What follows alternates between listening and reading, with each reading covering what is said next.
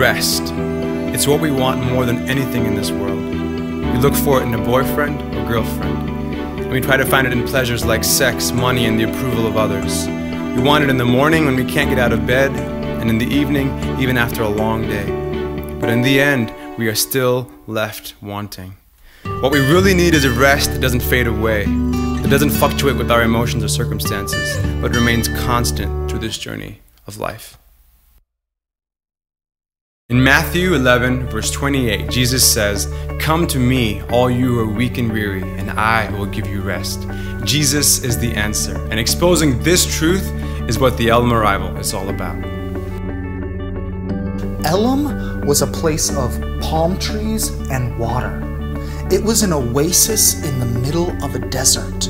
And God only brought the Israelites there after he had laid upon them an ordinance to listen to his voice and hear his commands and obey them.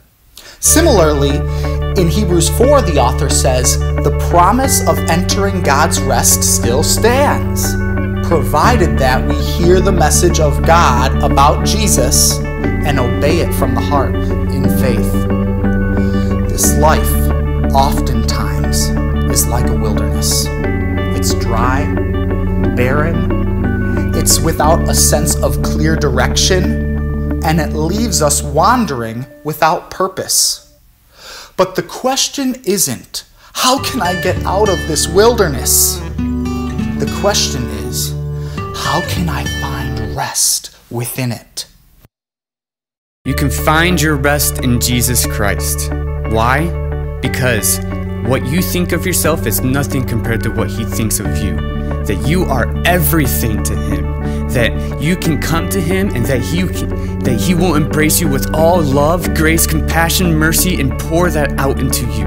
And that you can, like I used to think, uh, compare myself to others and would just go after what other people would think of me and try to appease them, and I never got fulfilled. But then Jesus always reminded me of who I am and how much He loves me, and because of that, I am confident because of that, because my Lord and Savior loves me more than anybody else, and to the point to where I don't need to seek the approval of any other person in this life except for the person of Jesus Christ.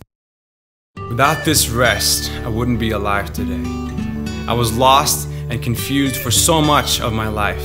And it wasn't until I humbled myself and accepted the truth of Christ that life truly began to make sense for me. The satisfaction that I now have of knowing Christ and Him knowing me is what has kept me through every hard season of my life. And it's no surprise that I find every song that I write filled with the desire for Jesus' rest to enter into me and into those who listen to them.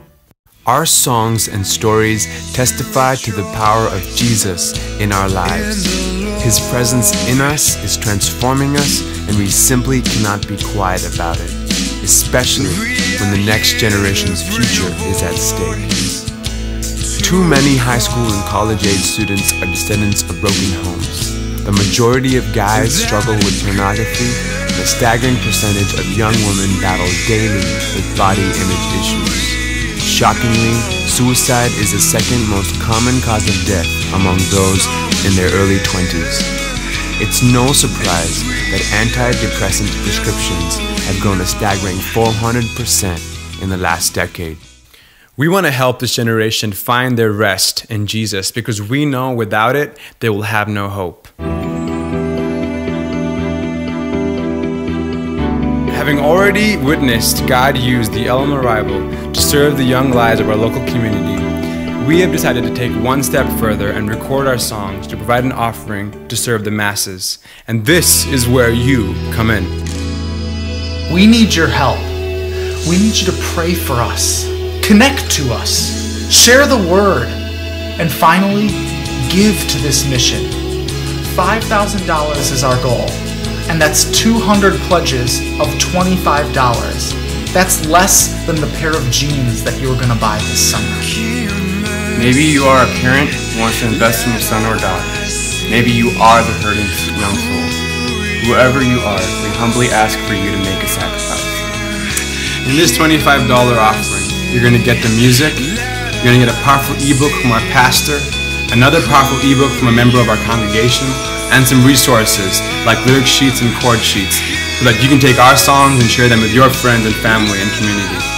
If there's any other questions you have, please refer to the information below. And finally, may the Lord bless you and keep you and make his face shine upon you.